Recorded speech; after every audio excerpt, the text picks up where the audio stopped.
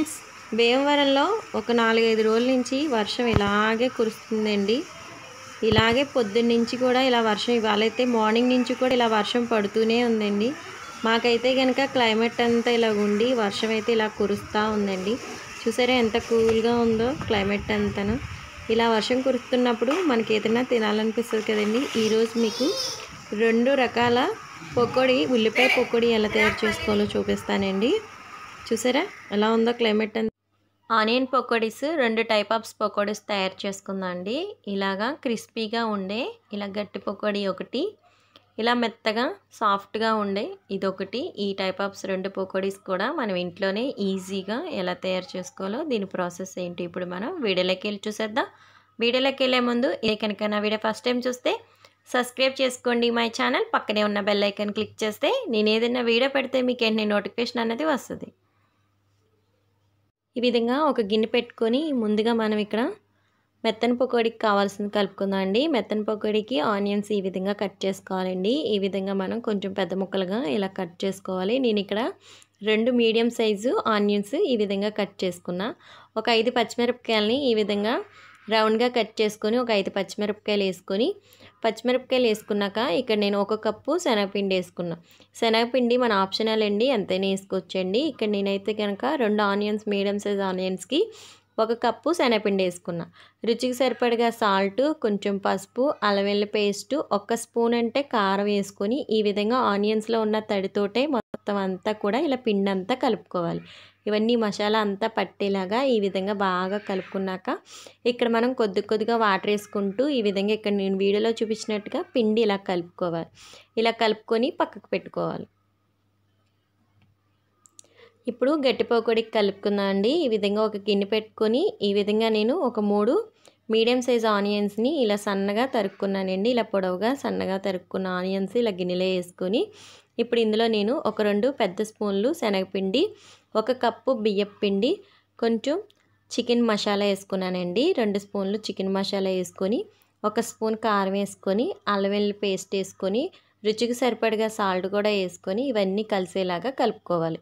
ఈ విధంగా ఆనియన్స్లో ఉన్న తడితోటే మనం గట్టిగా కలుపుకోవాలండి. దీనికి వాటర్ ఎక్కువ వేసుకోకూడదు. ఇక్కడ మనం చూసుకుంటూ వాటర్ వేసుకోవాలి. ఈ విధంగా కొద్ది కొద్దిగా వాటర్ వేసుకుంటూ జాగ్రత్తగా కొంచెం గట్టిగా కలుపుకోవాలి. మెత్తని పకోడీకి కలుపుకున్నట్టు కలుపుకోకూడదండి. ఈ విధంగా కొంచెం మనం గట్టిగా కలుపుకోవాలి. ఈ విధంగా కలుపుకొని ఇప్పుడు పక్కన పెట్టుకోవాలి. స్టవ్ వెలిగించుకొని స్టవ్ మీద ఇలా మంద పెట్టుకున్న ఒక ప్యాన్ పెట్టుకుని ఆ ప్యాన్లో ఇక్కడ ఆయిల్ వేసుకొని ఆయిల్ బాగా హీట్ అయిన తర్వాత ఇక్కడ మనం కొంచెం ఆయిల్ హీట్ అయిన తర్వాత ఇక్కడ మనం ఫస్ట్గా గట్టి పకోడీ వేసుకుందండి ఈ విధంగా పకోడీ అంతా కూడా ఇలా ఆయిల్లో స్లోగా వదులుకోవాలి.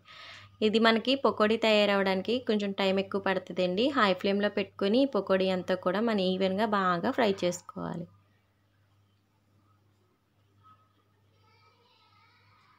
ఇలా మంచి కలర్ వచ్చిన తర్వాత ఇవన్నీ కూడా ఇలా ఆయిల్లోంచి తీసేసుకొని ఇలా ఒకటి చిల్లున్న గిన్నెలో వేసుకోవాలండి. ఇలా వేసుకోవడం వల్ల మనకు ఆయిల్ ఏమైనా ఉంటే కనుక కిందకు వచ్చేస్తుంది. ఈ విధంగా మిగిలిన పిండి కూడా ఇలాగే మనం పకోడీ వేసుకోవాలి. మొత్తం అన్నీ కూడా ఇలాగే ఇవి కూడా చూసారా? ఎంత బాగా ఫ్రై అయిపోయినాయో? మొత్తం అన్నీ కూడా ఇలా ఫ్రై అయిపోయినవి కూడా తీసుకొని మనం ఇలా గిన్నెలో వేసుకుంటే మనకి ఎంతో టేస్టీగా ఉండి గట్టి పొక్కడి రెడీ అయిపోయింది. ఇప్పుడు మెత్తన పొక్కడి ఎలా వేసుకోవాలో చూద్దాం. అదే ఆయిల్లో ఈ విధంగా మనం పిండిని ఇలా కొంచెం కొంచెంగా వదులుకోవాలండి. విడివిడిగా వేసుకోకూడదండి ఇది. ఈ విధంగా మనం కొంచెం కొంచెంగా పిండి అంతా కూడా ఇలా ముద్దలు ముద్దలుగా వేసుకోవాలి. మనకి ఏ సైజులో పకోడీ కావాలో ఆ సైజులో ఇక్కడ మనం స్లోగా ఆయిల్లో వదులుకోవాలి. మొత్తం పకోడీ అన్నీ కూడా ఇలాగే వేసుకోవాలండి. స్లోగా ఈ విధంగా మనం పిండి తీసుకొని ఈ విధంగా స్లోగా ఆయిల్లో వదులుకోవాలి. ఇలా ముద్దలు ముద్దలుగానే వేసుకోవాలండి. విడివిడిగా వేసుకోకూడదు. ఇలా అయితే మనకి పకోడీ అన్నది పర్ఫెక్ట్గా వచ్చి బాగుంటుంది. లోపలంతా ఆనియన్ ఉడికే వరకు మనకి పైకి ఇలా ఆయిల్ అంతా కూడా ఇలా బబుల్స్ కింద వస్తుంది కదండి అదంతా అయిన తర్వాత ఈ విధంగా మనం స్ట్రైనర్లోకి తీసుకొని ఈ విధంగా ఒక చిల్లులు గిన్నెలు వేసుకొని పక్కకు పెట్టుకోవాలి. మొత్తం అన్నీ కూడా ఇలాగే వేసుకోవాలండి. మొత్తం ఈ పకోడీ కూడా సేమ్ అలాగే వేసుకోవాలి. చూసారా? సింపుల్గా ఎలా వేసుకోవాలో చూసారు కదండి? ఈజీగా అయిపోతాయండి ఆనియన్ పకోడీ మనకి. సేమ్ మనకి బయట వచ్చిన టేస్ట్ లాగే వస్తుంది. ఈ పకోడీ వేసుకునేటప్పుడు మాత్రమే కొంచెం తినే చోడ వేసుకోవాలండి. ఇందులో మట్టికి ఒక చిటికెడు తినే చోడ వేసుకొని ఈ విధంగా పకోడీ వేసుకోవాలి. అప్పుడు మనకి కొంచెం గుల్లగా వచ్చి ఆయిల్ పీర్చకంట ఉంటుంది. కొంచెం వేసుకోవాలండి. ఎక్కువ వేసుకుంటే ఆయిల్ పీర్చేస్తుంది. ఈ విధంగా పకోడీ మొత్తం కూడా ఇలాగే వేసుకోవాలి.